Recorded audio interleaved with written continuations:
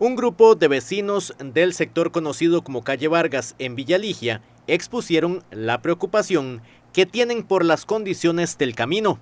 Y el deterioro que tiene esta vía. Y nosotros principalmente lo que buscamos es un, un de aquí en adelante, cómo, cómo hacer con, con la recompactación de esta vía para que podamos circular. Aquí vivimos eh, seres humanos que necesitamos con dignidad transitar.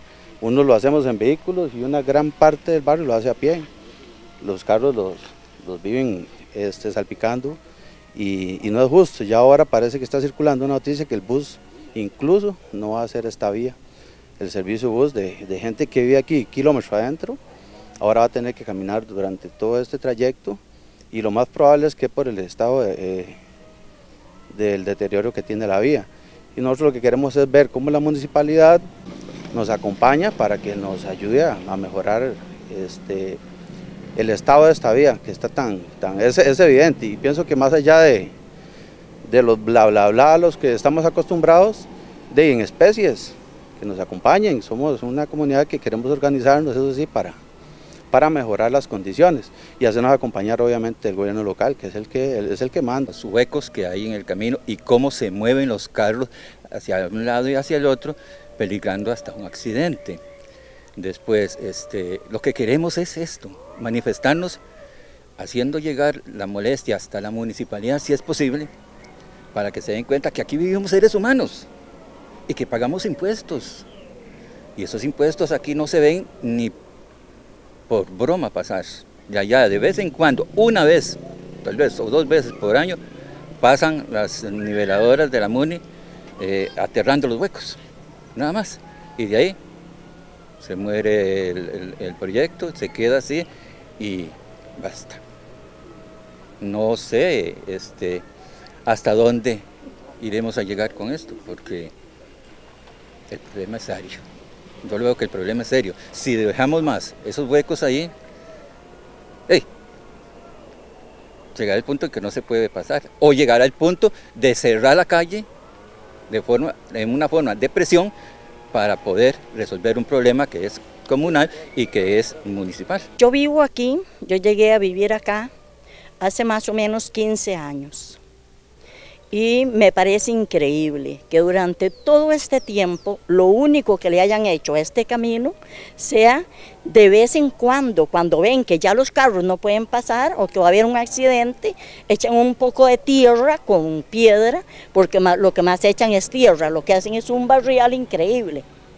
Entonces a mí me parece increíble que en tantos años no hayan hecho nada por este camino, porque todos los demás caminos este, de alrededor uno va y es pavimentado.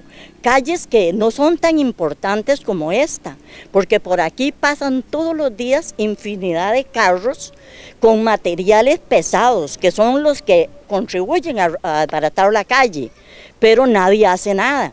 Los vecinos se quejan, pero no sé por qué no se les ha ocurrido hacer algo como lo que estamos haciendo hoy. Yo conozco aquí más de una señora adulta mayor que pasan de los 90 años y se quieren asfixiar ahí en las casas. Padecen de asma, padecen de otras enfermedades y en verano ese polvazal que las ahoga y en invierno estos barriales que no tienen por dónde salir. En esta época de lluvia, las condiciones de la vía se complican más y por eso el llamado de intervención aumenta. Nosotros tenemos el proyecto eh, de asfalto desde hace tiempo ya. De hecho, hace como unos dos meses fuimos a ver que, cómo iba caminando el asunto. De ahí la municipalidad con lo que sale es con lo que, que no hay dinero. ¿Me entiende? Entonces de ahí uno está a manos cruzadas porque la única respuesta de ellos es que no hay dinero. El asunto es que los vecinos, como se dan cuenta que uno es del comité, ellos recurren a uno y preguntas y preguntas, mira para cuándo el asfalto, mira cómo va el asunto. Y uno, la respuesta es, no sabemos, bueno, nosotros dependemos de la municipalidad, no, no tenemos recursos, no tenemos dinero. Tenemos un dinerito ahí que hemos recogido a base de rifas, de actividades bingos, por si hay que respaldarnos con algo de dinero, ¿verdad? Pero en realidad es algo muy, muy, muy poquito, ¿verdad? Digámoslo así. Sobre esta preocupación vecinal, buscamos al alcalde generaleño para consultarle sobre el tema. Hoy nos exponían los vecinos de calle Vargas en Villaligia que están preocupados por las condiciones del camino. ¿Qué se le puede responder a estos vecinos? Bueno, en primera instancia, en los últimos días de atención de público he tenido visita de los vecinos de, de Villaligia, eh, se han conversado temas de, de, varias calles, entre ellas la famosa o conocida como calle Vargas, ¿verdad? Consultas de si hay algún proyecto a futuro y, y demás, ¿verdad? Recordemos que hay dos tipos de, de, modalidades, existe lo que es el mantenimiento de rutas en lastre, que eso se obedece a una programación hecha por, por, los consejos de distrito y están los proyectos ya de, de, una mejora, dígase un asfalto, un cementado, un pavimento rígido y así sucesivamente. En el caso de esta calle, el código 119-232 eh, se había incorporado producto de un plan quinquenal, un proyecto en lo que es el portafolio 22. En este momento nos encontramos en la ejecución de portafolios, proyecto o de, del portafolio eh, denominado 19, ¿verdad? Una vez que se terminen de ejecutar todos estos proyectos, pues ya pasamos a lo que son portafolios o proyectos del portafolio 22. Y de igual forma esto pues obedece a, a un tema de, de, todos los de todos los procesos de preinversión que, que, se hacen con respecto a los mismos, ¿verdad? Que cumplan con las diferentes condiciones y la capacidad presupuestaria, ¿verdad? Que, que con la que se cuente para poder ejecutar eso. Eh, en portafolio 19 pues quedan varios proyectos y yo se lo he expresado a los vecinos de, la comunidad, a los representantes, ¿verdad?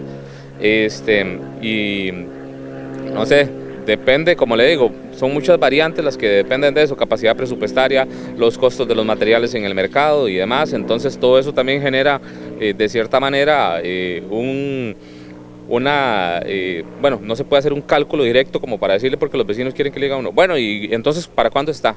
Va a depender de todas esas variantes, ¿verdad? Lo cierto del caso es que sí está el proyecto en un portafolio, pero según la cronología de, de la ejecución de, de, de, portafolios, pues ejecutamos 19 y después continuamos con portafolio 22. Eso estamos hablando de proyectos más grandes. ¿Y mantenimiento hay algo previsto para eso?